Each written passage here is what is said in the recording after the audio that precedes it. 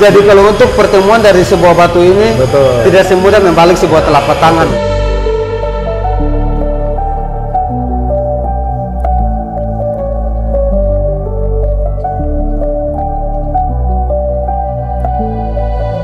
Assalamualaikum warahmatullahi wabarakatuh. Kembali lagi bersama saya dengan Udi Abami Johnson langsung dari Rumah Batu Rawabening Jatinegara. Oke. Hari ini saya akan kembali memperkenalkan kembali varian-varian batu Papua Nabire.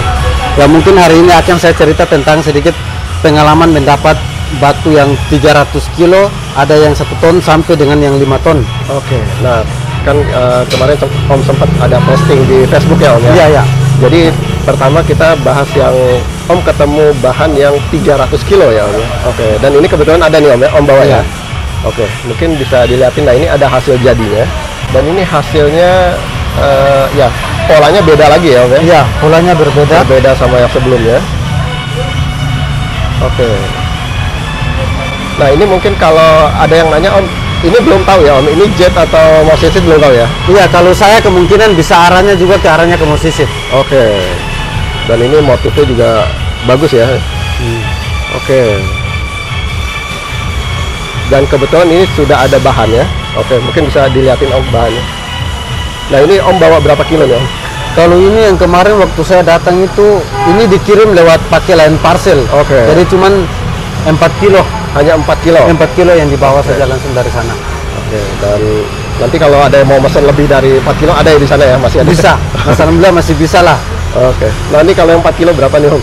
Kalau yang 4 kilo ini saya buka tujuh setengah lah, 7 juta setengah. tujuh setengah juta ya. Karena begini, karena bukan persoalannya mahal atau dari sebuah batu ini, tapi karena memang sulit juga kita temukan batunya seperti begini. Mulai dari buminya batu Giok Papua Nabire itu baru kali ini baru temukan pertama kali temukan bahan sebesar ini Oke. yang seperti begini.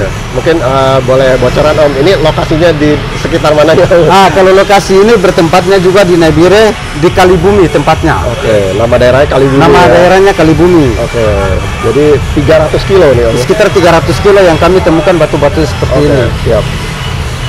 Jadi nanti kalau mau eh, lebih jelas bisa request lab aja Om ya. Iya, bisa. Luarnya apa? Oke. Kalau yang udah jadi nih Om, ini kebetulan baru ada dua nih contohnya. Nah, Nah ini masing-masing berapa nih Om? ah, kalau ini 2 juta setengah, ini 2 juta. Oke, ini yang besar dua setengah, Iya. yang ini 2 juta ya Om ya. Oke. Ini ketannya apa nih Om? Ini alpaka. Alpaka. ya? Alpaka. Oke siap. Silahkan ya. Jadi mungkin bagi para peminat batu Papua di sini bukan persoalan harganya mahalnya, tapi di sini juga saya jual juga sesuai dengan kualitas batunya. Betul. Jadi tidak semua batu Nabire itu harus ada yang mahal. Mau cari yang ratusan ribu pun ada, masih Ada. bisa menjuta Oh. pun ada. Oke. Nah ini ada yang satu lagi nih Om. Ah ini leontingnya. Gantinya nih. Nah ini belum diikat. Nah, oh iya, ini tenterannya ya. Ya. Oh cakep cakep. Nah ini berapa nih Om kalau liantin? Kalau leontingnya 550 aja. Ah ini ada yang 550 ya Om. Langsung diikat, langsung terima pasangan. Oke siap. Langsung dengan kalung-kalungnya langsung tinggal dipakai. Oke. Dan satu lagi Om, eh, yang menarik nih, Om pernah posting ketemu bahan lagi yang tontonan besarnya. Ah ya. Jadi waktu itu pernah temukan sebelumnya temukan bahan yang 300 kilo dulu Ya. dan menjelang sekitar 2-3 hari kemudian baru ditemukan bahan yang sekitar ada yang satu ton, ada juga yang lima ton, Oke. Ada satu ton, ada lima ton. ada yang juga sekitar lima ton. Lokasinya masih di. Lokasinya masih yang sama, di- masih di Kalibumi. Kalibumi. Jadi antara jarak batu yang ditemukan yang 300 kilo dengan Ya. yang batu yang ada yang satu ton maupun yang lima ton itu jarak kurang lebih sekitar 200 atau 300 meter. Oke, dekat ya, lumayan. Iya ya. dekatnya. Oke. Tapi ini sayangnya nih bahannya Om nggak bawa nih. Om. Iya bahannya kebetulan belum bisa keluar karena kemarin berangkat juga kan. Ya tahu sudah lah kalau Nabire pesawat juga mahal. Oke. Karena kemarin berangkat dari Nabire sampai Jakarta itu sudah dihabiskan sekitar 6 jutaan untuk Ya. ongkos sekali perjalanan. Nah nanti eh, kalau misalkan ada yang mau pesen bahan bisa tapi Om ya. Masih bisa. Jadi kebetulan Nah. saya juga ada batok piannya aja nih. Oke. Sampel dari batu yang Nah ini jadi ini adalah contoh dari batu yang ditemukan yang Iya. yang lima ton ini ya Om, lima ton ini cuma nunjukin token nunjuknya aja. Oke.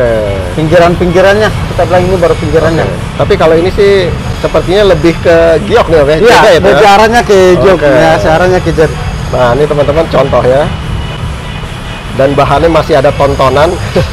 kalau mau mesen bisa ya Om ya. Bisa. Oke. Nah kalau yang ini berapa nih? Ini kebetulan cuma satu lagi bawa ya. Kalau ini kan jadikan contoh lah. Oke. Kalau ini menjadikan contoh saja. Oke siap. Nanti kalau ada yang mau mesen tinggal Iya. di WhatsApp aja ya Om ya. Iya bisa. Kalau yang berminat bisa karena ini kan biar kita cuma memperkenalkan saja Benar. bahwa ini contoh dari batu yang kemarin. Oke. Ya mungkin kemarin yang cuma lihat saya posting lewat Facebook maupun apa hari ini bisa langsung nonton langsung di YouTube Bang Ruby Rebus. Oke. Langsung bisa lihat langsung. Dan yang perlu diingat eh, perjuangan untuk ke arah penemuan batunya itu harus dihargai Om ya. Jadi Iya, ja- jadi kalau untuk pertemuan dari sebuah batu ini Betul. tidak semudah membalik sebuah telapak tangan. Betul, Jadi, jadi- mungkin hanya sepintas yang saya jelaskan untuk akses juga tidak semudah karena akses untuk kita mau temukan batu ini juga itu harus jalan kaki dengan kilo baru kita bisa tembus ke dalam. dan Jadi bagi untuk para rekan game lover semua Nusantara, apabila mungkin karena varian batu Papua Nabire yang mungkin agak mahal dibandingkan dengan Burma, ya mungkin tidak sebanding karena kita Nabire ibaratnya baru pencarian bukan penambang besar seperti yang ada di luar sana begitu. dan masih manual ya Om Masih ya. ibaratnya kita masih manual, mengandalkan fisik bukan mengandalkan alat berat.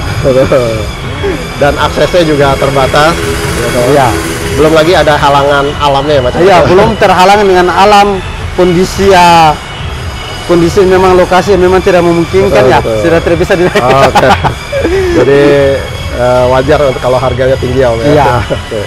Oke, Om, mungkin kita lanjut ke kemarin kan kita membahas yang varian batu cincin ya Om ya. Iya, iya. Nah ini ternyata Om juga bikin varian tapi bukan bentuk cincin, bentuknya macam-macam nih, lebih liontin dan gelang ya Om ya. Ah ini kita Nah, bentuknya ini dari arahnya gelang.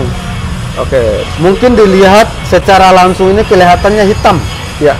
Mungkin secara kalau mungkin kita center bisa masuknya arah kebiruan ya. Oke.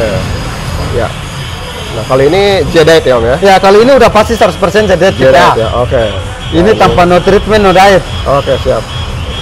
Nah, ini contoh berapa nih Om? Kalau ini mungkin 2000 lah, apa-apa. 2 juta. 2 juta oke. karena bukan mahalnya tapi di sana juga kita beli mata bor juga agak mahal. Kalau Oh. nggak ada di Papua kita harus butuh proses dari beli dari Jakarta baru Oke. bisa pengiriman lagi lah. Oke, siap. 2 juta ya Om ya. Iya. Oke, nah ini agak besar nih Om, bagus. Kalau ini saya kasih harga sama lah. Sama ya, 2 jutaan. Oke. Silahkan nih teman-teman nih. Hanya beberapa nih bikinnya. Oke. Cuman dua. Oke. Nah, ini mungkin yang varian beda warna tapi lebih Ah, kecil ya. Iya, kalau lebih kecil beda warna dari green ini saya buka dengan harga 1000 aja. Satu juta ya? Iya, satu Oke. juta aja. Silakan teman-teman nih. Batu biok baik buat kesehatan ya Om ya. Iya, ini untuk kesehatan luar Oke, biasa. nah ini yang light green, green, ya. Oke, ini hijaunya cakep. Oke, jadi ini ini berapa nih Om kalau yang ini? Sama aja lah. Seribu aja. Masih 1000. Oke, siap. Jadi ini gelangnya kebetulan lagi ada empat. Iya, karena gelang yang seperti begini biasanya dipakai untuk ya kita percaya nggak percaya karena berbicara tentang giok, jet ini kan sudah lama pada mungkin ya kita tarik kembali pada zaman sejarah dinasti Betul, itu kan sudah jadi kan untuk kesehatan kita untuk Betul. memperlancarkan darah Oke, siap. untuk kesehatan Oke. Nah, lanjut kita ke sekarang ke liontin nih Om. Nah, ini kalau yang ini nih Om. Nah kalau yang ini mungkin agak kelihatannya juga kelihatan masih Betul. seperti biasa hitam. Ya, betul. Tapi senterannya tadi ah ini kelihatan. Ya masih Ya, masih jarang lah masih betul betul. kebiruan masih dikit. Nah, ini berapa nih Om? Kalau ini 1500. 1500 ya. Iya. Oke. Sekarang kita ke giok lagi tapi ini variannya beda nih Om. Iya. Nah, ini macam-macam Ah bentuknya. kalau ini macam-macam. Oke. Oke, siap light green. Oke, kemudian ada yang bundar juga. Ya ada yang bundar. Oke. Oh, ini cakep nih. Nah, ini berapa nih, Om? Kalau ini rata-rata kasih masih harga enam setengah langsung dipasang langsung dengan kalungnya. Oke. 650 atau An- 6,5 juta? Eh, enggak, 650 aja. 650. Oke. Silakan nih teman-teman nih. Iya, jadi langsung sudah diikat langsung dengan Iya. kalungnya tinggal dipakai. Ini kalau kebesaran sebenarnya ini bisa dipotong jadi lagi nih Iya. beberapa ya. Kalau ini kalau mau dibuat, wah masih banyak lah, masih Iya, bisa buat benar-benar. leontu, buat cincin lah. Berarti 650 terjangkau nih Iya, sebenarnya. masih harga kasih masih bisa kasih harga terjangkau Oke. juga. Nah, ini ada yang menarik ini yang kecil-kecilnya lagi nih, Om. Ini berapa nih, Om? Nah, kalau yang begini 500 saja. 500-an ya. Ya, Oke. langsung diikat, terima bersih. Ini tetes air siap. mata ya. Ya. Oke, ini juga. Oke, siap. Nah, ini ada yang menarik nih. Waktu itu kita sempat bahas. Jadi ini namanya apa nih, Om? Ini namanya sindrom magnesite Oke, dan ini dari Nabire ya Om? dari Nabire. Oke, mungkin bisa di center Om. Ya, kekuningan ya. Ya, kalau sindrom magnesite-nya kita Papua masih sama dengan sindrom magnesite-nya Australia. Australia. Oke. Karena waktu pertama saya lab itu katanya dari orang lab sendiri bilang ini jenisnya masih satu jenis dengan Oke. Australianya juga. Di- dikiranya batu Australia ya. Dikiranya batu Australia tapi ternyata ini Oke. masih masih punya Nabire juga. Ini berapa nih Om masing-masing? Ya kalau masing-masing ini masih 650 lah. 650 ya. Langsung siap diikat, tinggal dipakai aja lah. Oke, siap siap. diikat, tinggal dipakai. Oke, nah kita lanjut. Ini yang agak warna-warna ini lumayan hijau tua atau apa? Iya, masih agak inilah. Oke, ini macam-macam bentuknya. Ini udah dibor juga nih. Iya. Tetes air mata. Oke, teman-teman silakan. Nah, ini contoh yang sudah diikat ya, Iya. seperti ini. Jadi nanti teman-teman tinggal beres nih udah diikat. Tembaga ya, Om ya? Iya, masih tembaga baru di krum kuning. Oke. Nah, ini berapa nih, Om? Kalau yang warna ini? Kalau yang begini masih kasih harga masih sama lah, 650. 650 ya. 650. Oke. Kita lanjut ke bawahnya. Kalau ini yang agak light green ya, Om ya? Ya, ini Oke. agak light green. Oke, bagus-bagus nih. Cakep-cakep nih. Apalagi batu giok nih. Langsung tempel ke badan, pasti enak nih rasanya. Oke, kalau yang ini berapa nih Om? Masih saya masih kasih harga samaan lagi. 650 ya? 650. Oke. Kita ke bawah, nah ini agak besar-besar. Wah, ini bagus-bagus nih bentuknya nih. Oke, cakep-cakep nih. Oke, siap. Ini bentuknya macam-macam nih. Ini juga besar nih. Mau dibelah-belah juga boleh. Tapi sayang nih sebenarnya. Kalau udah kayak begini, tinggal pakai aja nih. Oke. Kita lihat bentuknya nih. Kalau ini istilahnya bentuknya namanya apa nih? Om? Itu cutting bintang katanya. Oh, oke. Yang buat bilang katanya cutting bintang. Cutting bintang ya Om ya. Oke, ini ada yang bundar. Dan yang terakhir nih ada yang seperti apa nih? Bandul atau apa? Seperti ini katanya katanya dibuat seperti sarang burung gitu. Oke, waduh ini bagus-bagus tuh. Nah ini mulai dari berapa nih Om Ya harganya? kalau ini masih sama 950 kalau begini. 950 ya, Ya, Om. ya? masih ingat. Oke. Jadi itu adalah kreasi dari giok, macam-macam cuttingannya. Nah sekarang kita yang ke mau sit nih Om. Om juga punya nih liontin juga, cuttingannya beda-beda lagi nih bagus. Iya. Oke, siap. Wah, ini bentuknya bagus-bagus nih. Keren. Oke. Nah, ini berapaan nih, Om, kalau ini? Kalau begini masih sama sembilan setengah. Sembilan setengah ya? Iya, sembilan setengah. siap. Ini bahannya masih ada nggak nih, Om? Bahannya sudah habis. Sudah habis ya? Sudah habis Oke. banyak waktu datang pertama aja itu. Oke, siap. Sekarang saya balik ke Papua juga cari udah sulit untuk Iya, temukan bahannya seperti begini. Bagus nih warna ada hijau stabilonya nih. Iya, warna hijau stabilah. Nah, ini juga tebal. Sembilan setengah nih, Om? Iya, masih sembilan setengah. Oke siap.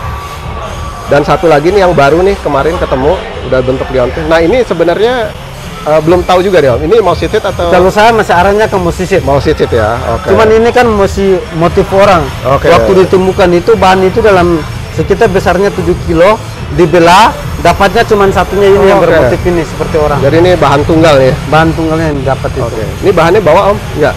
Banyak gak sempat dibawa sih. Tapi kalau ada yang mau pesan bisa nih. Masih bisa kalau Ada ya? cari bahan. Tapi kalau untuk cari motifnya sudah nggak ada Oke. lah. Ini termasuk baru lagi kemarin ketemu Iya. kan? Oke siap. Tapi ini larinya lebih ke mau sitit ya? Iya, lebih larinya ke musisi. Ini sampai berapa nih om? Kalau itu satu juta setengah. Oke. Karena ada motif ya? Ada motif orang kayaknya. Mungkin yang tahu paham tentang perbatuan motif mungkin bisa tahu motifnya apa ini. Nah, Om satu lagi nih, eh, ini masih ada contoh bahan. Nah, ini sentrannya bagus nih hijau. Tapi eh, katanya juga ini masih belum tahu nih Om ya. Iya, kalau yang ini mungkin saya belum bisa memastikan ini masuk jenis apa. Jadi saya belum bisa ya, nanti takut apa saya ngomongkan sesu- sesuai dengan hasil lab nanti. Oke. Tapi intinya barang ini masih dari Papua Nabire semua. Oke, masih dari Nabire ya. Iya, masih Ini Nabire. berapa kilo nih? Ini sekitar 5 kiloan kan lima ini kilo, masih ya? tebal. Oke. Silahkan nih yang mau main bahan. Ini motifnya juga beda-beda nih. Iya. 5 kilo sampai berapa nih Om? Yang 2500 lah. Dua setengah juta. Oke. Kebetulan ini yang belum ada yang digosok ya Om ya. Iya, belum. Oke. Ini contoh bahan lagi dari Nabire. Silakan kalau ada yang mau nge-lab mau beli.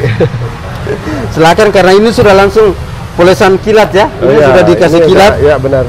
Bisa buat pajangan di rumah Betul, juga betul. bisa. Bagus. Oke bang, mungkin kali ini cukup sekian dulu nih bang. Eh, seperti biasa nanti eh, kapan-kapan kita balik lagi kalau ada yang ah, terbaru lagi nih. Makasih. Mungkin hari ini sampai di sini dulu tentang bicara tentang perbatuan Nusantara khususnya batu giok Papua Nabire dan terima kasih kepada Bang Ruby Rubus dan juga bagi rekan-rekan APNI yang ada di rumah batu Rawabening dan begitu juga seluruh games lover Nusantara terima kasih banyak sudah memperkenalkan kembali perbatuan-perbatuan Nusantara khususnya giok Nabire mulai di tingkat nasional pun maupun sampai di eh, mancanegara. Terima kasih mungkin itu saja yang bisa saya sampaikan. Wassalamualaikum warahmatullahi wabarakatuh. Salam pejuang batu akik.